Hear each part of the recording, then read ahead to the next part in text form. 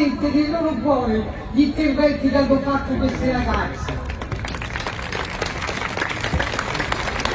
Un'altra cosa voglio dire, voglio mandare un, un saluto a Ione Vaccini, la partigiana che oggi non è qui perché non stava tanto bene. 104 anni.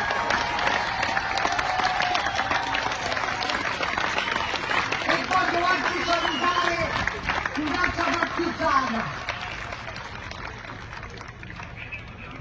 Teresa Vergalli, che lei mi ha detto quando vai a Papa San Paolo salutami tutti i presenti.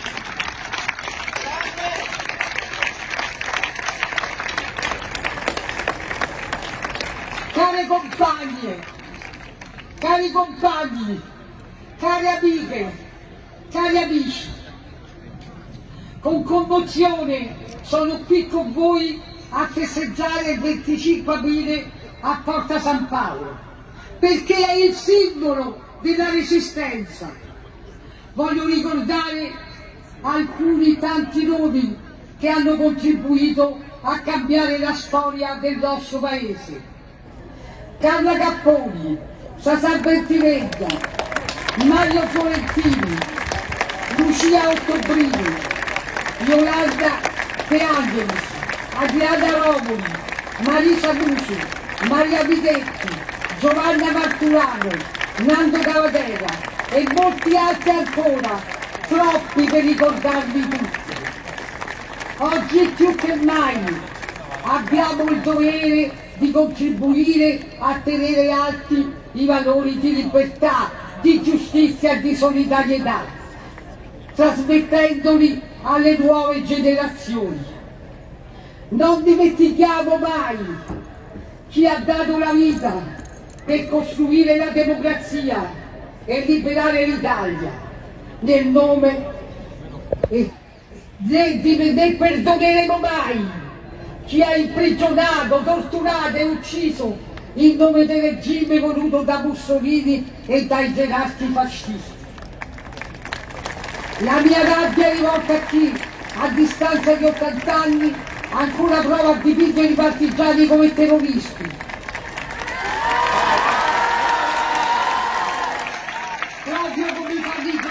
rappresentanti della destra italiana, oggi al potere. Quando dicono che i morti sono tutti uguali, a questi voglio dire di sbagliate, chi è morto per la libertà merita il rispetto della collettività e gli onori delle istituzioni.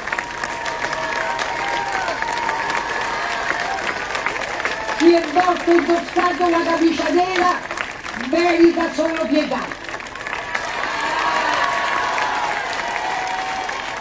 Oggi celebriamo con orgoglio la liberazione dell'Italia dalle canaglie fasciste, dalla terribile occupazione nazista.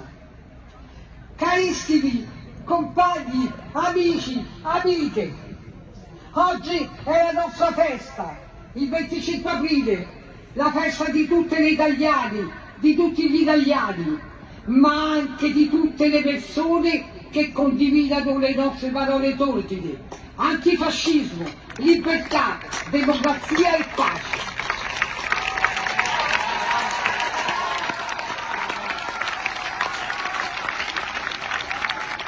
Non dimentichiamo l'articolo 11 della Costituzione l'Italia ripugna la guerra come strumento di offesa alla libertà degli altri popoli e come mezzo di risoluzione delle controversie internazionali. Oddio.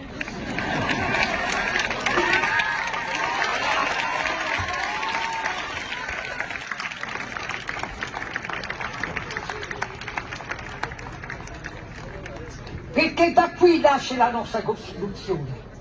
Il 25 aprile è un momento di celebrazione che nasce dalla volontà di ricordare l'insurrezione armata dei compagni partigiani di Torino, Genova, Milano e di tante altre città ribelli.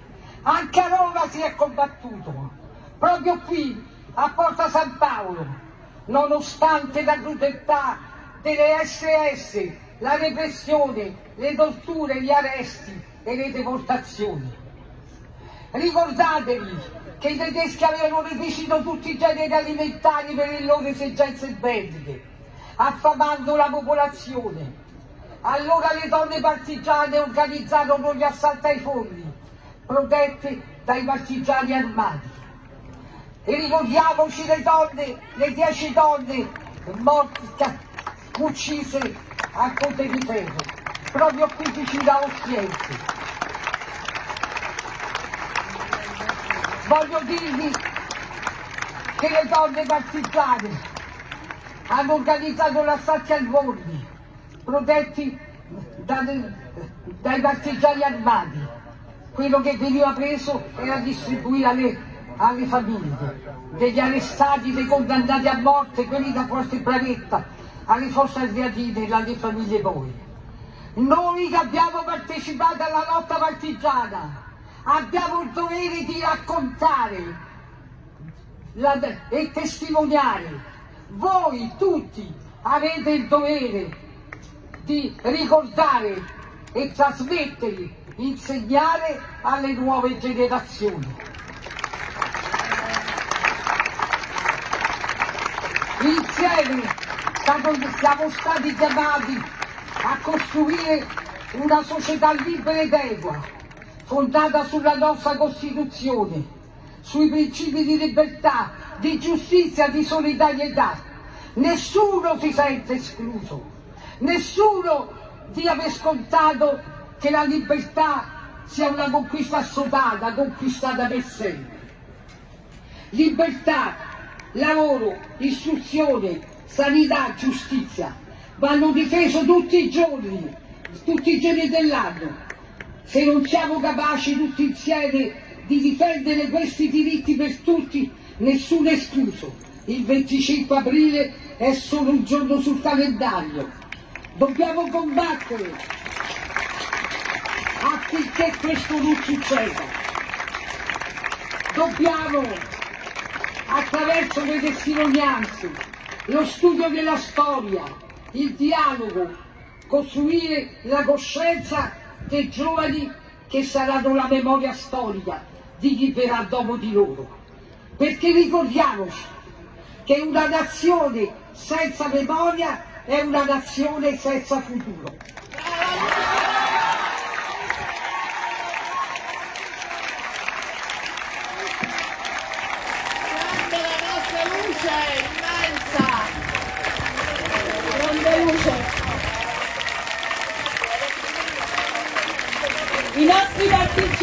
Saranno alle 5.40 ad Arco di Travertino, alla Piazza Quadrata, per un incontro con tutte e tutti.